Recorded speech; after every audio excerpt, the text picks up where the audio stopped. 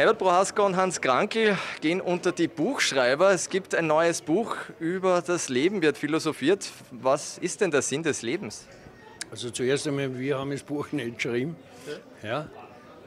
Der Sinn des Lebens ist, dass die Leute alles erfahren, wie wir heute denken, dass es nicht nur ein Fußballbuch ist, sondern wir sind beide ja ein bisschen älter geworden und dann was für Gedanken oder wie man damit umgehen oder, oder wie man sich heute fühlen.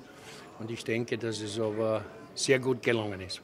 Worauf dürfen sich denn die Leser schon einstellen? Was wissen Sie beispielsweise über Hans Krankel noch nicht? Ich habe in einem Interview gehört, es gibt zum Beispiel eine lustige Geschichte mit einem Auto in Barcelona, das ganz spezielle äh, Kuhgeräusche gemacht hat. Das darf ich jetzt nicht sagen, weil die Leute müssen sich halt das Buch kaufen. Ja. Es sind lustige Geschichten, sinnliche Geschichten, ernste Geschichten, nachdenkliche Geschichten, philosophische Geschichten, aber viele lustige. Und was die Leute nicht wissen, von den vielen tausend Toren, was der Hans Krankel geschossen hat, hat er eines mit dem rechten Fuß geschossen. Und das weiß niemand. Glaubt auch niemand, aber ich bin Zeuge. Okay. Ja, wisst ihr, wie habt ihr euch zwei denn in den vergangenen Jahren und Jahrzehnten verändert? Oder habt ihr euch verändert? Naja, ich glaube nicht. Es ist so wie früher. Ja. Er hat ein bisschen weniger Haar, ich habe weiße Haar. Figurmäßig sind wir beim, beim Tarzan oder beim, beim Schulbleibenschütz. beim, beim Gladiator. Also es passt alles, es passt, es passt. Jetzt habe ich gehört, bei Herbert Prohaska steht äh, demnächst auch ein Jubiläum an. Ich glaube, es ist die goldene Hochzeit, oder? Die gefeiert wird.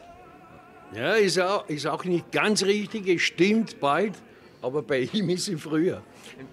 Ein Jahr vorher. Er hat, er hat dieses Jahr die goldene und meine Gattin und ich haben es nächstes Jahr. Die 24 ist wieder schwach, schwach recherchiert. Schwach unterwegs, aber Hans Krankel hat schon 1990 ein Buch mit Michael Kuhn geschrieben, oder? Ja, ich habe es nicht geschrieben, ja. der Michael Kuhn hat es geschrieben. Und äh, über dich gibt es auch schon eine Biografie. Wisst ihr, wie viele Bücher es eigentlich über Krankel und Prohaska äh, schon gibt auf dem Buchmarkt? Eine halbe Bibliothek. Ja. Die Nationalbibliothek kennt man bald füllen, ja. ja. Das stimmt. Gut, dann wünschen wir viel Spaß und möge es auf Platz 1 der Bestsellerlisten sein. Ja, danke, das ist ein gutes. Schlusswort. Dankeschön, jetzt hast du wieder eine gehabt mit ÖE24.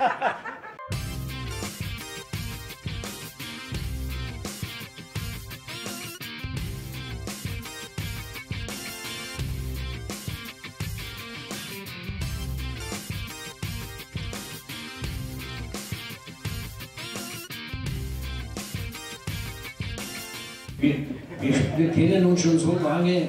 Ich war, glaube ich, zwölf und er 14 und wir haben in der Wiener Auswahl gespielt. Ich habe aber gespielt bei den Schülern und er hat gespielt bei den. Er bei, bei den Kleinen, ich bei den Großen. Ja. Es gibt ein neues Buch über das Leben, wird philosophiert. Was ist denn der Sinn des Lebens? Also zuerst einmal, wir haben das Buch nicht geschrieben. Ja. Der Sinn des Lebens ist, dass die Leute alles erfahren, wie wir heute denken, dass es nicht nur ein Fußballbuch ist, sondern wir sind beide ja ein bisschen älter geworden und dann was für Gedanken oder wie man damit umgehen oder, oder wie man sich heute fühlen. Und ich denke, dass es aber sehr gut gelungen ist.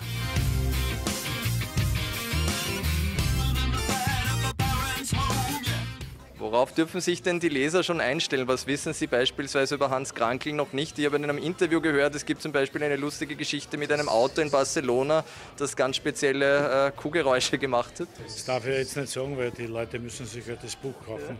Ja. Es sind lustige Geschichten, sinnliche Geschichten, ernste Geschichten, nachdenkliche Geschichten, philosophische Geschichten. Und damals war das so Bundesländermeisterschaft und wir haben im, im Burgenland gespielt und, ja, und, und Schüler und Jugend sind in einen Autobus gefahren. Und jetzt kommt dann eigentlich die Lüge beim Aussteigen. beim Aussteigen hat jeder seine Tasche genommen, das gegangen. Er erzählt seit Jahrzehnten die Geschichte, ich hätte ihm seine Tasche getragen. Wir sind ausgestiegen aus dem Autobus. Ich habe dann, ich hab dann keine Tasche genommen. Nein! Ich habe schon ein Burlen noch gegessen, das war. Man weiß, dass bei euch bei den Fußballübertragungen auch immer der Schmäh rennt. Das Buch hat aber auch durchaus ernste Seiten. Sehr sogar. Äh, und das war eigentlich auch die Grundidee dieses Buches, ein bisschen zu philosophieren über das Älterwerden, über das Leben, über die Familie Und äh, natürlich, also bei den zwei ist natürlich dann automatisch, dass ihm wieder Schmäh dann auch dazu kommt und äh, auch die eine oder andere Anekdote. Aber rein grundsätzlich ist es eigentlich, sind es Gedanken über das Leben, so wie das Buch auch sagt. Ja, ich glaube nicht. Es ist so wie früher. Er hat ein bisschen weniger Haar, ich habe weiße Haar. Figurmäßig sind wir beim, beim Tarzan oder Beim beim, Schulbleibenschutz. beim Gladiator. Also es passt alles, es passt, es passt. Wie hat sich denn für dich in den vergangenen Jahren auch mit diesen beiden verändert? Nicht, beim Hans kann ich es weniger sagen. Äh, beim Herbert, da bin ich ja fast wirklich, manche sagen, wir sind schon wie ein altes Ehepaar. Ja, wieso sagst du das jetzt und was willst Jetzt wisst ihr ungefähr, was ich mitgemacht habe bei diesem Gespräch mit den beiden. Die Mama kurz auch zeigen? Ja. Sind Sie stolz auf den Rainer und generell auf, auf die anderen? Wa- Was, was soll sie jetzt sagen? Nein, nein, nein, nein, nein. Wir mögen uns sehr. Ja, nein, das Ja. ist ja hallo. Understatement sozusagen. Aber das war schön. Danke vielmals. Und was die Leute nicht wissen, von den vielen tausend Toren, was der Hans Krankel geschossen hat, hat er eines mit den rechten Fuß geschossen. Und das weiß niemand. Glaubt auch niemand, aber ich bin Zeuge.